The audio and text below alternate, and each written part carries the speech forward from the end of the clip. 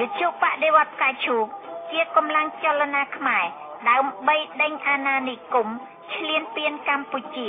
កម្ចាត់របបផ្ដាច់ការជន់ក្បត់ជាតិអាយ៉ងយួនភ្នំពេញ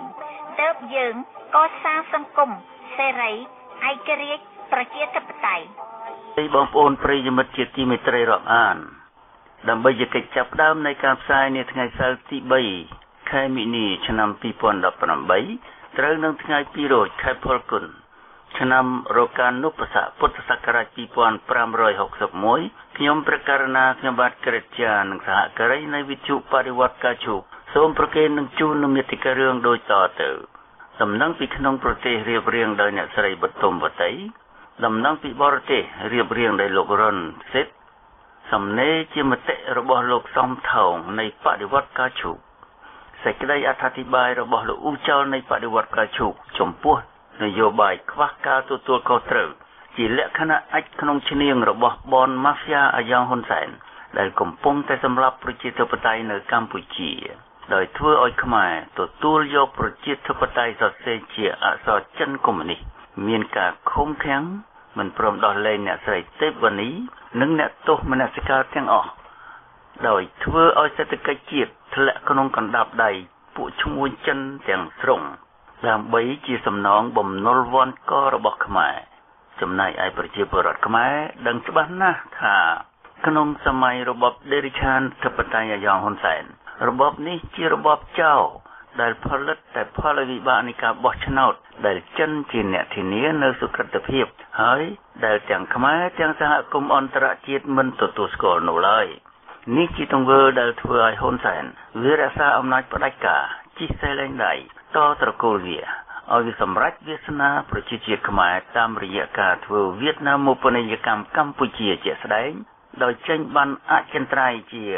ជនអន្តោប្រវេសន៍យួន សង្កត់សង្កិនរំលោភសិទ្ធិជាមនុស្សជាតិរបស់ប្រជាពលរដ្ឋខ្មែរមិនបំរើប្រយោជន៍ប្រជាជាតិខ្មែរខុសពីប្រទេសប្រជាធិបតេយ្យសេរីដូចជាសហរដ្ឋអាមេរិកនិងប្រទេសបារាំង ដែលប្រជាពលរដ្ឋរបស់គេជាអ្នកសម្រេចវាសនាប្រជាជាតិគេដោយខ្លួនគេដូច្នេះខ្មែរត្រូវតែនាំគ្នាកម្ចាត់របបប៉ុលពតទី2ដែលជារបបម៉ាហ្វ្យាអាយ៉ងផ្ដាច់ការហ៊ុនសែនអ៊ីតលីតូចមួយពីកម្ពុជាដោយនាំគ្នាងើបឡើងធ្វើពហិការក្នុងគ្រប់វិស័យដោយប្រជាពលរដ្ឋជាមួយប្រជាពលរដ្ឋនិងដើម្បីប្រជាពលរដ្ឋព្រមទាំងទាមទារឲ្យមានការ កោះប្រជុំប្រទេសហត្ថលេខីនៃកិច្ចព្រមព្រៀងប៉ារីថ្ងៃទី23ដុល្លារ1991ឡើងវិញពេលនេះជាពេលចាំបាច់នៃការរើបំរាស់យកឈ្នះពីយុវជន ដែលជាសសរទ្រូងប្រជាជាតិស្របតាមរចនាសម្ព័ន្ធក្រមប្រឹក្សាជាតិអន្តរកាលងើបឡើងធ្វើបដិវត្តការជូបរំដោះស្រុកពីរបបផ្ដាច់ការនៃបនចោដេរិឆានយ៉ាងហ៊ុនសែននិងពីនឹមអាណានិគមនៃចោយួនឆ្លៀនពៀន ដើម្បីសាងកម្ពុជាតាមរដ្ឋធម្មនុញ្ញមួយថ្មីដែលលើកដំកើងសិទ្ធិសេរីភាពបំរើសង្គមជាតិក្នុងសមភាពព្រោះជាឱកាសដែលសហគមន៍អន្តរជាតិគេប្រកាន់យកឆន្ទៈប្រជាពលរដ្ឋយើងជាធំហើយពេលនេះក៏ជាពេលដែលប្រជាពលរដ្ឋ ត្រូវតែស្គាល់ឲ្យច្បាស់នៅសារជាតិថ្នាក់ដឹកនាំកុម្មុយនីសបច្ចុប្បន្ននឹងបោះឆ្នោតជាមួយនឹងឃាតករយួននិងចិនចោលឈ្លានពានទឹកដី គឺធ្វើឲ្យពួកវាមានអំណាចបន្តសម្លាប់ពូជខ្មែរនិងកាន់កាប់ប្រទេសខ្មែរដោយស្របច្បាប់ជំរាបសួរបងប្អូនជនរួមជាតិដែលស្ដាប់វិទ្យុបដិវត្តការឈូកទាំងក្នុងស្រុកទាំងក្រៅស្រុក កាលពីថ្ងៃអង្គារ27កុម្ភៈ2018សហរដ្ឋអាមេរិកតាមសេចក្តីសម្រេចនៃសេតវិមាន បានផ្អាកជំនួយទៅកម្ពុជា គឺផ្អាកតាមរយៈអង្គការ USAID ដូចជា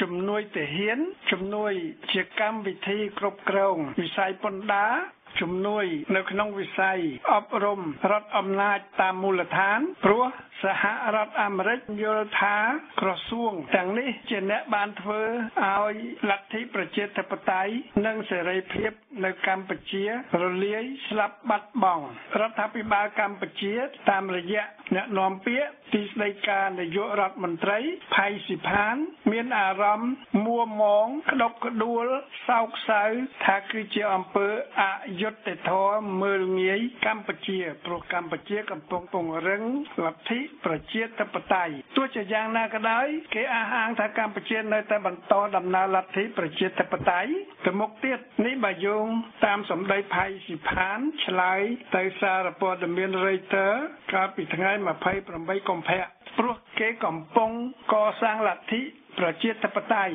ហើយគេអះអាងថាលទ្ធិប្រជាធិបតេយ្យគឺជាសម្បត្តិនៃប្រជាជាតិខ្មែរ ពុំមែនជា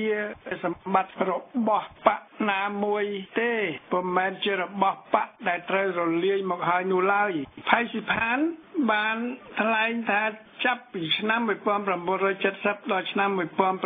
1975សហរដ្ឋអាមេរិកនិងអឺរ៉ុបខាងលិចបានបរាជ័យក្នុងការបង្កើតលទ្ធិប្រជាធិបតេយ្យនៅកម្ពុជា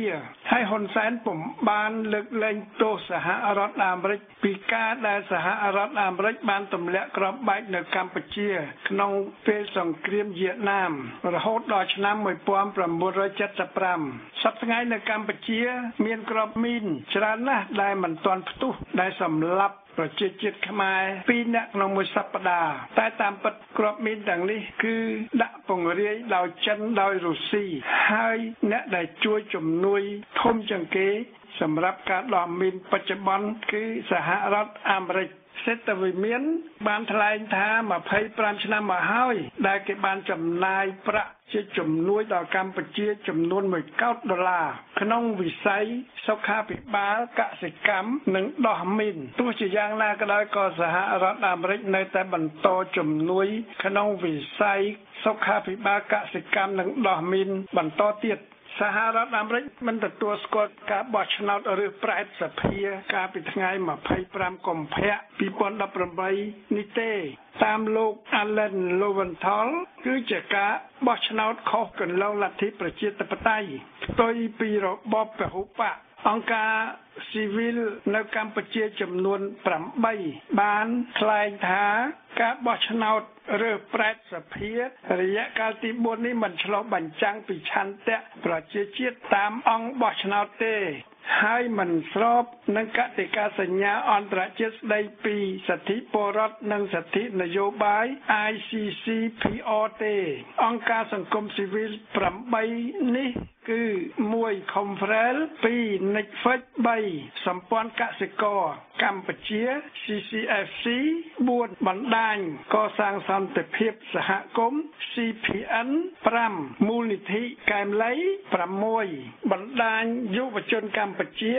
CYN 7ធនធានយុវជនខ្មែរដើម្បីអភិវឌ្ឍ YODP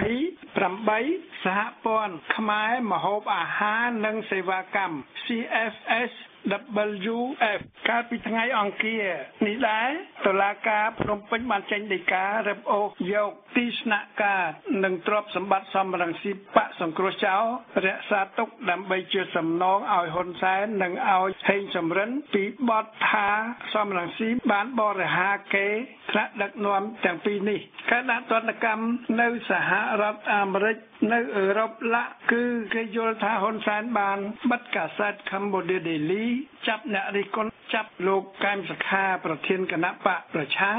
ដាក់គុកដោយចោទថាគាត់ក្បត់ជាតិសុំក្រឡុំជាមួយសហរដ្ឋអាមេរិកដើម្បីរំលំរបបហ៊ុនសែន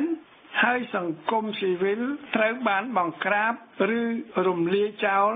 ឬសកម្មជនខ្លះកំពុងជាប់គុកនៅក្នុងពន្ធនាគារ គឺជាទង្វើដែលបកប្រជាជនធ្វើគំរាមបង្ក្រាបប្រជាជាតិខ្មែរនៅមុនការបោះឆ្នោតថ្ងៃ29កក្កដា2018ខាងមុខនេះទណ្ឌកម្មពុំទាន់ចប់នៅត្រឹមនេះទេសភាសហរដ្ឋអាមេរិកនិងព្រឹទ្ធសភាកំពុងរៀបចំច្បាប់ដើម្បីបញ្ជាឲ្យរដ្ឋាភិបាលសហរដ្ឋអាមេរិក ដាក់ទណ្ឌកម្មផ្នែកទូតផ្នែកសេដ្ឋកិច្ចជាការបង្កកទ្រព្យសម្បត្តិហ៊ុនសែននិងក្រុមគ្រួសារនិងមន្ត្រីនៅក្នុងរបបភ្នំពេញ គឺជាចុងបញ្ចប់អាចឈានទៅដល់ការបញ្ឈប់ការអនុគ្រោះពន្ធលើការនាំចេញសម្លៀកបំពាក់ស្បែកជើងលាក់ ទណ្ឌកម្មនេះបានធ្វើឡើងមួយថ្ងៃក្រោយពីអឺរ៉ុបដែលលោកស្រី Federica Mogherini យល់ថាអឺរ៉ុបគ្មានវិធានការណាក្រៅពីការផ្អាកការអនុគ្រោះពន្ធនាំចូលទំនិញពីកម្ពុជា ជាវាយនភ័ណ្ឌមានខោអាវស្បែកជើងជាដើមចូលអឺរ៉ុបនោះឡើយតំណាងរាស្ត្រនៅអូស្ត្រាលី មិនស្វាគមន៍វត្តមាននៃហ៊ុនសែននៅអូស្ត្រាលីទេ គេមិនអត់ឱនពីពាក្យសម្ដីប្រៃផ្សៃរបស់ហ៊ុនសែនហើយគេមិនស្វាគមន៍វត្តមាននាយករដ្ឋមន្ត្រីនេះទេ នេះបើតាមសេចក្តីថ្លែងការណ៍របស់លោក Chris Bowen តំណាងរាស្ត្របកប្រឆាំងកាលពីថ្ងៃ28កុម្ភៈ2018នៅក្នុងកិច្ចប្រជុំមួយពលគឺអូស្ត្រាលីនឹងមិនស្វាគមន៍វត្តមានហ៊ុនសែននៅក្នុងការប្រជុំកម្ពុជាពិសេសអាស៊ានអូស្ត្រាលីនៅថ្ងៃ17 18មីនាខាងមុខនេះទេ ប្រជាជាតិខ្មែរគេនឹងក្តោកតវ៉ាការពារសិទ្ធិរបស់គេនៅអូស្ត្រាលី ក្នុងការធ្វើបាតកម្មដោយសន្តិវិធី ប្រឆាំងហ៊ុនសែនអ្នកតំណាងរាស្ត្រពីររូបផ្សេងទៀតគឺលោកអាន់តូនីប៊ឺននិងលោកម៉ាក់បាត់ឡឺបានស្នើឲ្យហ៊ុនសែនដកការគម្រាម វាយបាតកម្មទៅវិញជាបន្ទាន់ ព្រោះជាការបំពានលើសិទ្ធិសេរីភាពនិងលទ្ធិប្រជាធិបតេយ្យដែលប្រទេសអូស្ត្រាលីគេប្រកាន់ខ្ជាប់យ៉ាងម៉ឺងម៉ាត់បំផុតផៃស៊ីផាននិងសុកអេសានឬទុកអាវសាន ដែលហាក់ដូចជាគ្រប់គ្រងអាចហ៊ុនសែនខំការពារថាហ៊ុនសែនគឺជាបុគ្គលគេមានសិទ្ធិបញ្ចេញមតិដោយពលរដ្ឋនានាដែរតែពលរដ្ឋខ្មែរនៅអូស្ត្រាលី បានប្តឹងទៅប៉ូលីសអូស្ត្រាលីនិងស្ថាប័នពាក់ព័ន្ធដើម្បីចាត់ការលើហ៊ុនសែនតាមផ្លូវច្បាប់ កាលពីថ្ងៃច័ន្ទអ្នករាយការណ៍ពិសេសតំណាងឲ្យអង្គការសហប្រជាជាតិ គឺលោកស្រី Rona Smith និងអ្នករាយការណ៍ពីការអនុវត្តច្បាប់សិទ្ធិពលរដ្ឋនិងសិទ្ធិនយោបាយគឺលោក David Kay បានចេញសេចក្តីជូនដំណឹងមួយកម្រាស់រៀបរាប់ពីព្រឹត្តិការណ៍នានាដែលកើតមាននៅកម្ពុជា ចាប់ពីខែមិថុនា2017មក ដែលនិយាយរៀបរាប់ពីការចាប់ប្រធានកែមសខាដាក់គុក ការកាប់ព្រៃឈើដឹកយកទៅប្រទេសវៀតណាម ពីតំបន់អាងទំនប់វារីអគិសនីសេសានក្រោម2ហើយធ្វើរបាយការណ៍ជាសំណួរទៅរដ្ឋាភិបាល និងចម្លើយ ពីរដ្ឋាភិបាល ស្ដីពីការបង្ហាញពន្ធដារ6លាន3សែនដុល្លារដែលរដ្ឋាភិបាលតម្រូវឲ្យកម្ពុជាដេលីបង់ឲ្យរដ្ឋាភិបាលខ្មែរ មានការនិយាយពីសកម្មភាពនៃក្រសួងពន្ធដារមានការរៀបរាប់ពីការជាប់ពន្ធនាគារនៃ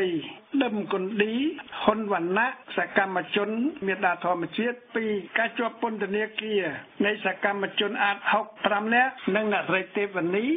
ឡាក់លោក Phil Robertson នាយករងនៃអង្គការ Human Rights Watch ប្រចាំអាស៊ីបានថ្លែងថានេះជាឯកសារ ប្រវត្តិសាស្ត្រផ្លូវការដូច្នេះសកម្មជន ការពារសិទ្ធិមនុស្សនិងសេរីភាពគ្រប់វិស័យត្រូវតែយល់ថាគេពុំមែនរស់នៅតែម្នាក់ឯងតស៊ូតែម្នាក់ឯងនោះទេព្រោះមនុស្សសំខាន់សំខាន់នៅក្នុងលោក ដោយលោកស្រី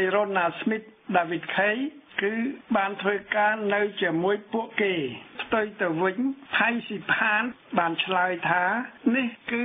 ជាទង្វើដែលកម្ពុជាគោរពច្បាប់ព្រោះកម្ពុជាជាប្រទេសនីតិរដ្ឋមានអធិបតេយ្យភាពនៅក្នុងឆ្នាំ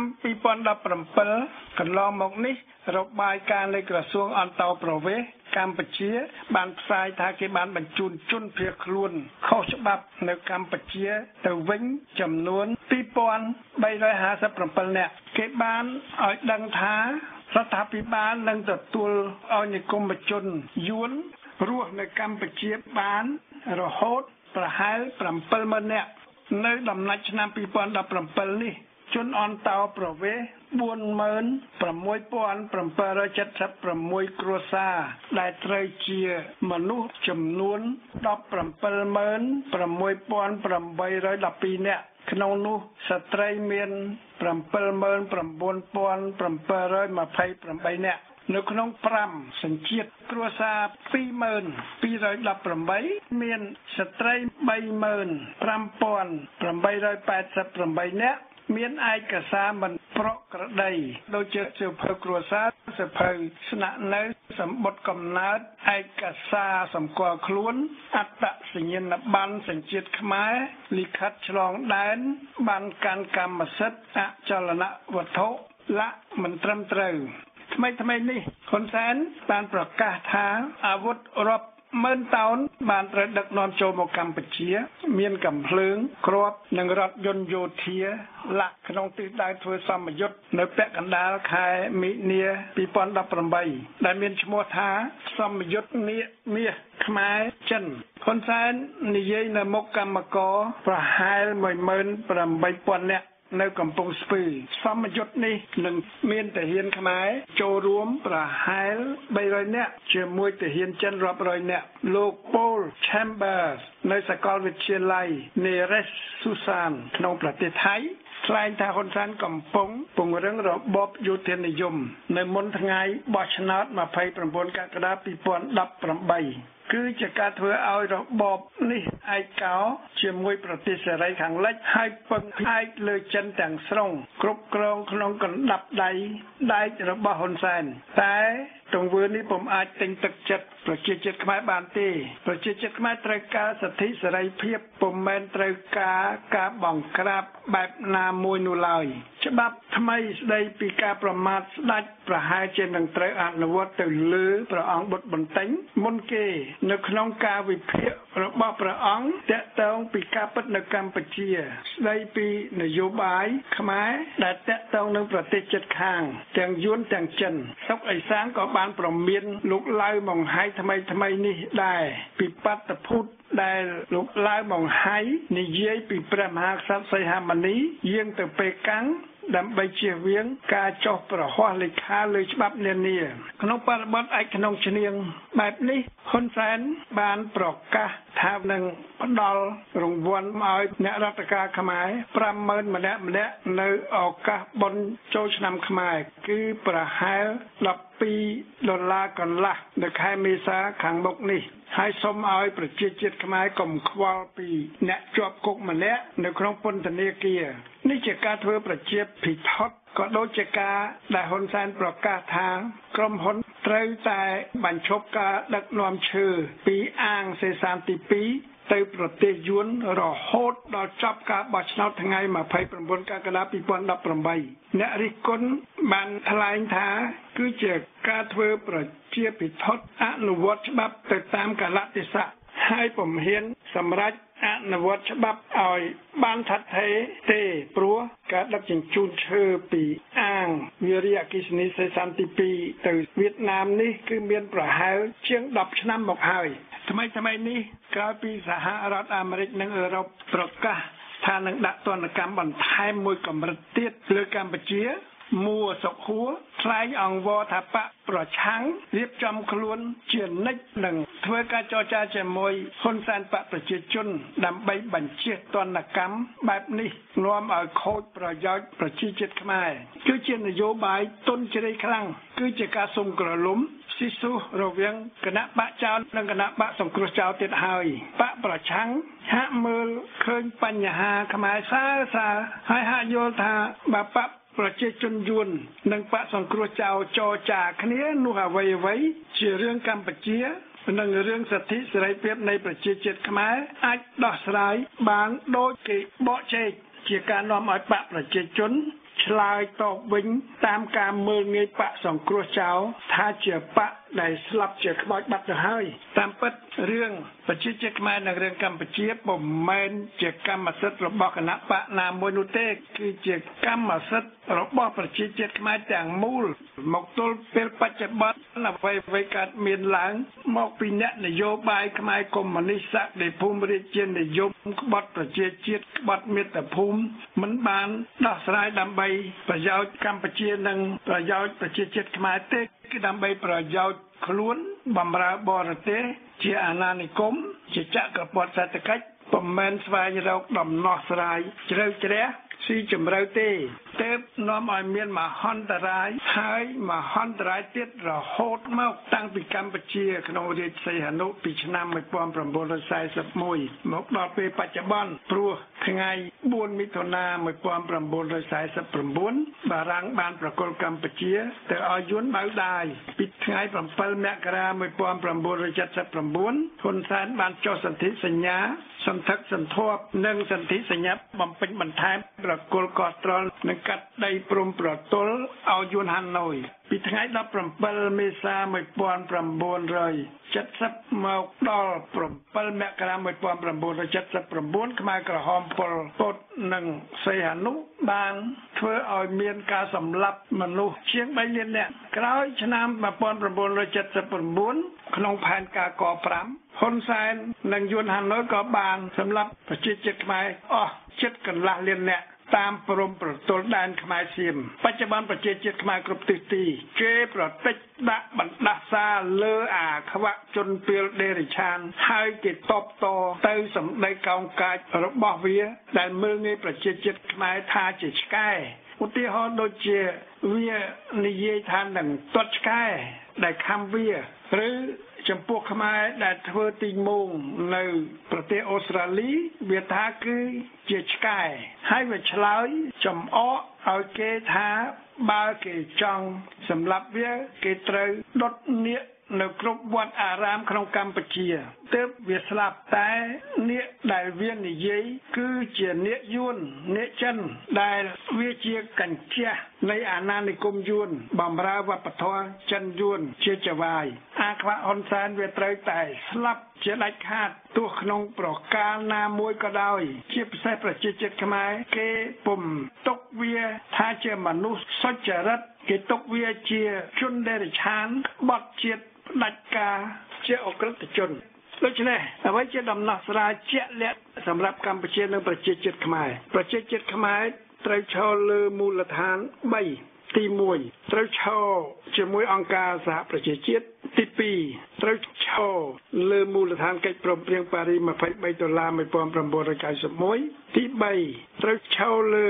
ក្រមប្រឹក្សាជាតិអន្តរកាលដើម្បីបម្រើកម្ពុជានិងប្រជាជាតិខ្មែរទាំងមូល ខ្មែរត្រូវការ road map ឬប្លង់ឬផែនទី